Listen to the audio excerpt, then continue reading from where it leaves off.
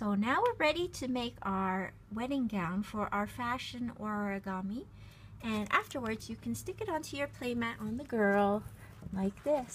So there's her wedding gown all ready to go. And we can make ours. Um, so you choose the paper that you like. Uh, I've chosen this pink one with the pretty gradient color. Um, and make sure the one that you choose is facing downwards. So the wedding gown side is facing down. First we're going to fold our paper in half from bottom to top like this and open it back up and we're going to fold it from right to left and crease it as well. Then we're going to open it back. Next, we're going to take these outer edges and fold them towards the middle crease we just made. So fold that towards the middle crease. And the same with this outer edge, we bring it towards the middle and fold it inwards towards the middle crease. We do the same fold again with this bringing this edge and this edge, oops, into the middle. Flyaway paper. So, bring that into the middle, crease it well, and bring the side into the middle. And crease it well. Next, we're going to open the whole thing back up. And we fold, we do an accordion fold by folding inwards.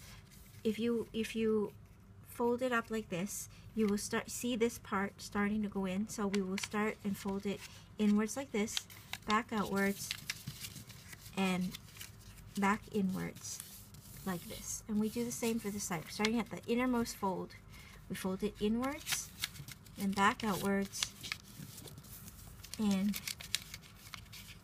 back towards the middle.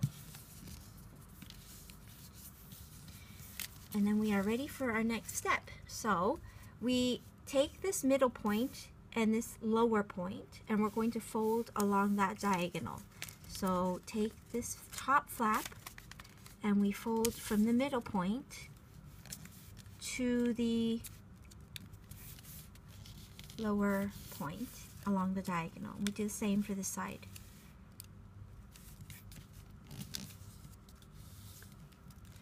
Next, we're going to insert our finger between the flaps here and we're going to pull it out, pull it out so that we make another fold from the middle point to the outer outer point here.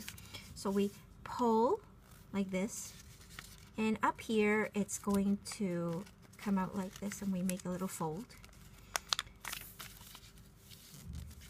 so that the dress flares outwards. So we do that again on this side. So we put inside our finger here and we hold our finger around our other hand around here so that when we pull out, it fans out.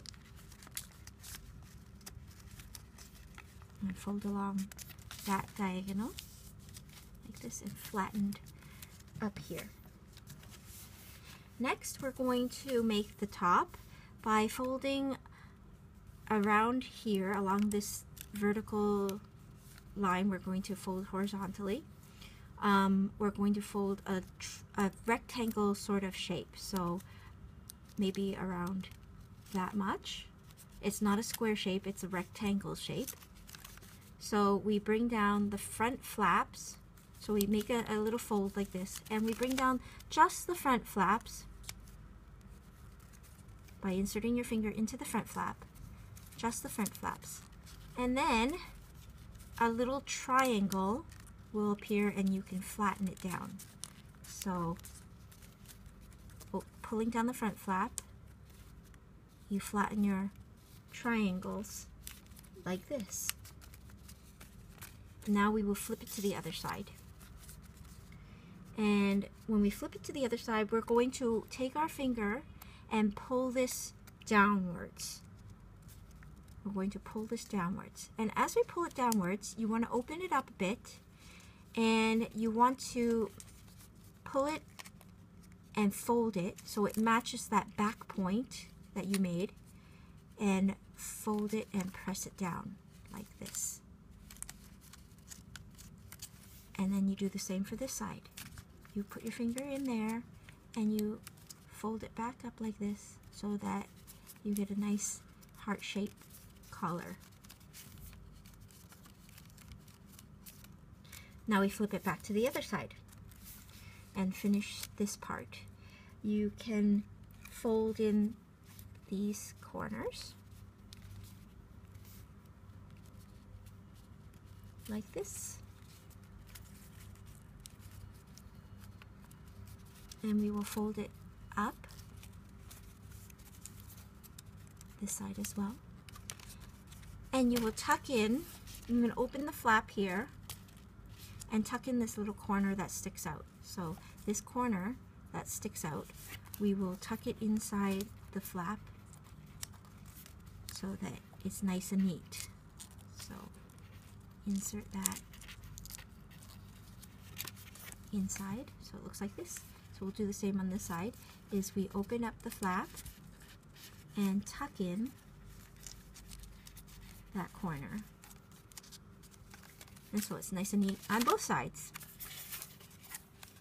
Next we're going to do an accordion fold by first folding backwards around about a centimeter above this this line here. So this middle line, um, about a centimeter, we're going to fold it backwards. And then we're going to fold it back upwards, about half centimeter. So that's an accordion fold there. This next part is quite tricky, is we have to create the waist of the dress. So the best way to do this is to first determine your angle of the dress by folding it inwards. And then as you fold it inwards, you're going to have to fold the bottom part as well so that it creates a sort of V shape like that. So let's do it on the other side and we make our first angle. Meanwhile, also pushing the second bottom part to get our V shape. Mm. Your wedding dress is finished.